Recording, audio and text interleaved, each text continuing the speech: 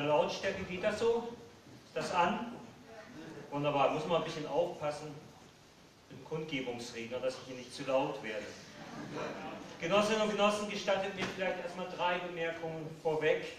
Die erste, ich hatte da schon die Tagungsleitung vorgewarnt, ist, ich werde wahrscheinlich was Unerhörtes tun, nämlich meine Redezeit signifikant unterschreiten. Das ist ja seltener Zustand auf solchen Veranstaltungen.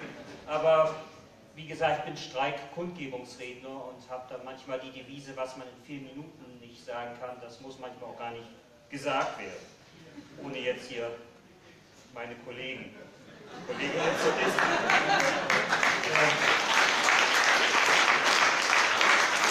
haben die mehr Zeit, ist ja auch gut so.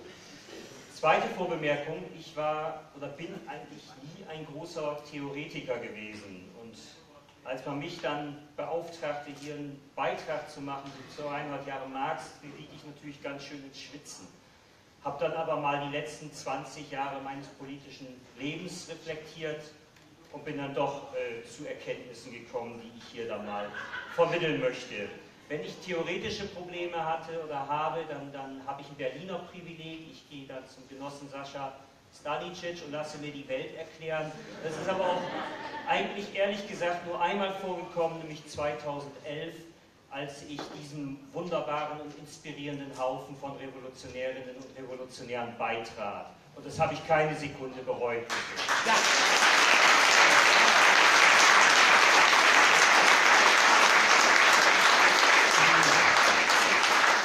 Dritte Vorbemerkung, äh, wer mich kennt, weiß das, hält man mir ein Mikro hin, dann muss immer ein irisches Zitat dabei sein. Es ist heute der große Gewerkschafter James Larkin, mit dessen Motto ich meinen Beitrag einleiten will.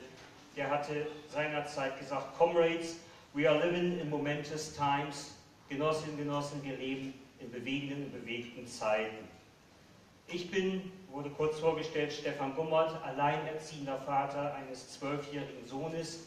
Ich arbeite drei Schichten als Krankenpfleger an der Berliner Charité und bin dort als Gewerkschafter, Marxist und SAV-Mitglied aktiv. Ich arbeite dort auf der weltbesten Station 45. Wir sind gut, weil wir im Jahr hunderte Herzkatheteruntersuchungen und Schrittmacherimplantationen durchführen, aber die Besten sind wir, weil wir in den letzten sieben Jahren in vier Streiks den Laden komplett dicht gemacht haben.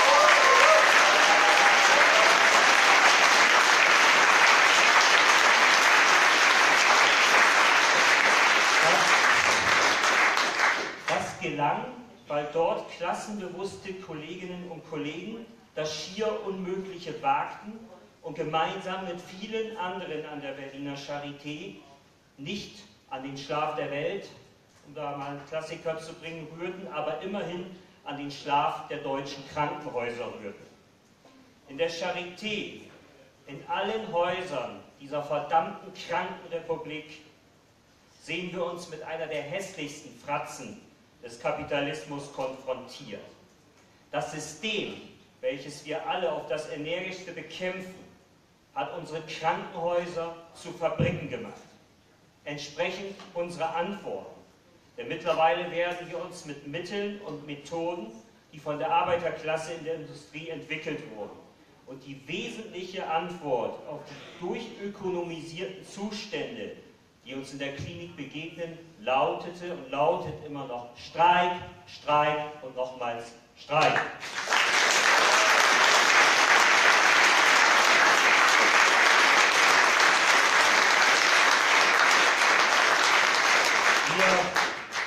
durchleben derzeit an den Kliniken das gesamte Einmaleins des Klassenfeinds und ich wollte das an neun Punkten kurz illustrieren. Stichwort ist eine Marx-Veranstaltung. Wo ist er? Da schaue ich ins Konterfei. Unsere Arbeit ist entfremdet. Statt Menschen zu pflegen und zu heilen, zwingt uns das System, sie mehr als Fallpauschalen oder Erlösfaktor zu sehen.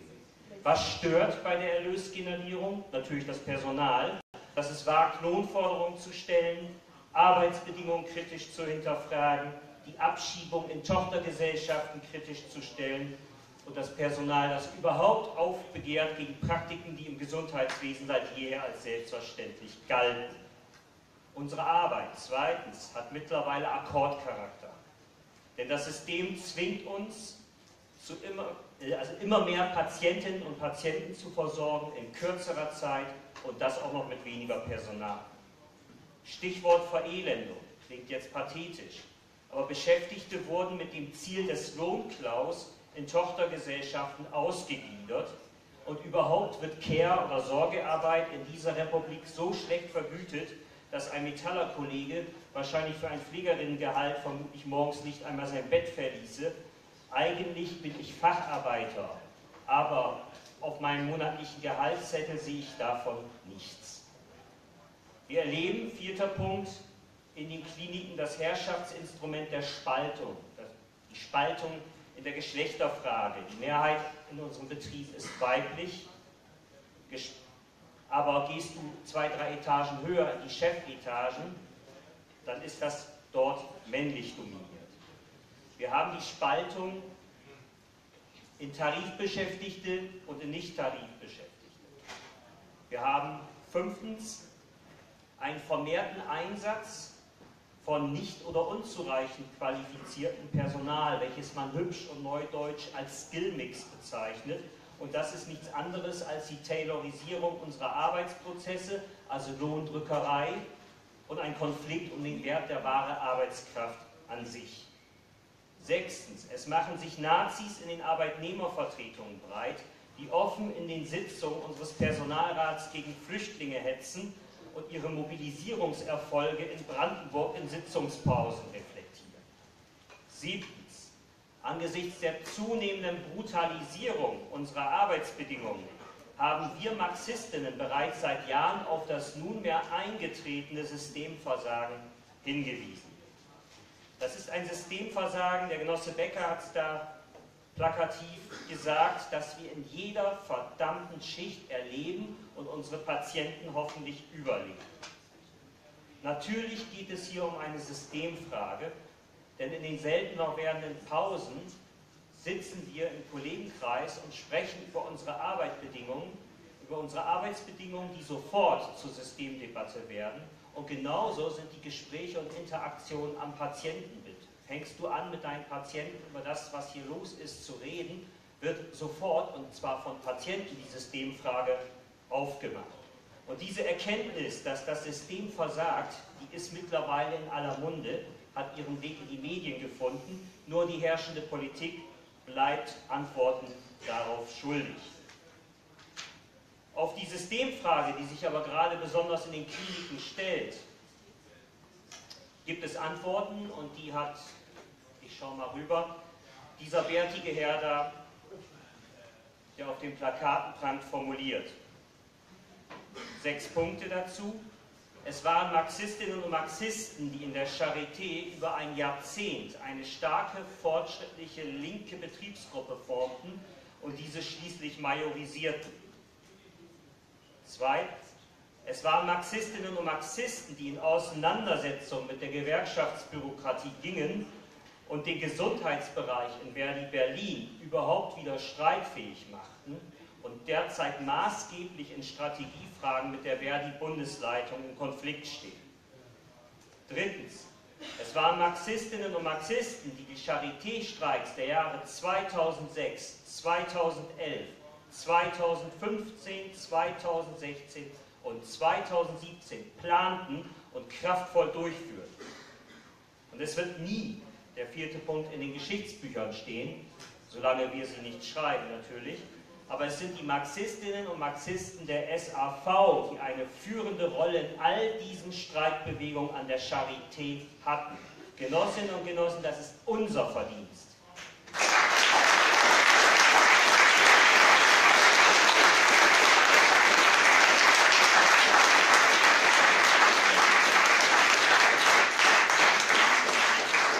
Das ist unser Verdienst und unser, unter unserer Anleitung wurde der erste Streik für mehr Personal im Krankenhaus in dieser verdammten Krankenrepublik geführt. Und das mit einer Wucht und Konsequenz, dass wir heute noch die Schweißperlen auf den Häuptern der Zeitzurückdreher, der Benchmarker, der Kaufleute und ihren politischen Lakaien sehen. Mögen die noch kräftig schwitzen, nein, besser dann bald kräftig bluten für das, was sie uns Beschäftigte und den uns anvertrauten Menschen in den Krankenhäusern antun. Und ich denke,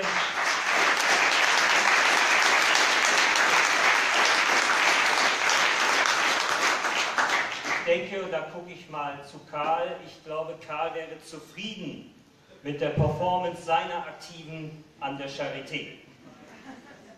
Für das deutsche Gesundheitswesen gibt es eine Perspektive und die ist eine marxistische. Und dafür werden wir weiter in der Gewerkschaft und in den Betrieben streiten und streiken. Es ist unser Verdienst, dass wir den Brückenschlag in die Gesellschaft über unsere Bündnisarbeit geschaffen haben. Wir Marxistinnen und Marxisten orientieren auf die Vernetzung unserer Kämpfe und wir organisieren den betrieblichen zu einem gesellschaftlichen Kampf. Und damit ist eigentlich schon alles gesagt, ein katastrophales Unterschreiten der Redezeit. Aber der Slogan, damit schließe ich ab, unserer Tarifbewegung gilt natürlich auch hier und heute für uns. Mehr von uns ist besser für alle. Vielen Dank.